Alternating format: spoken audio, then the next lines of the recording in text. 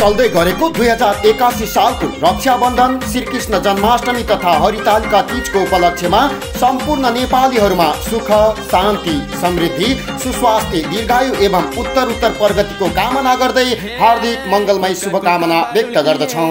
तिम्रै नाम लिने तिम्रै यादले भएन सानी बस्न खान दिने। धान खायो चरीले। न्यू विजय सुनचाँदी पसल परिवार।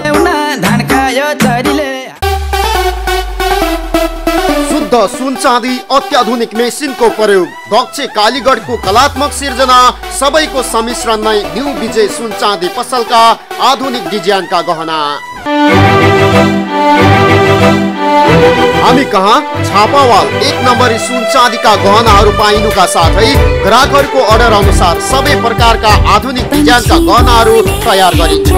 अन्य सेवाहरूमा बिना रसायनका गहनाहरू तयार गरिने पुराना गहनाहरूबाट नयाँ गहनाहरू साटिने कुनै कारणले गहना फिर्ता गर्नु परेमा सुनको पुरा मूल्य फिर्ता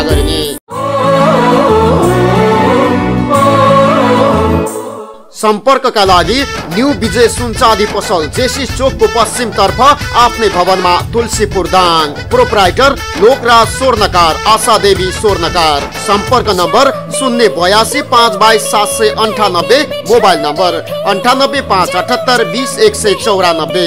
सुनमा शुद्धता हाम्रो अठोट। तपाईँलाई चाहिएमा हामीलाई सम्झनु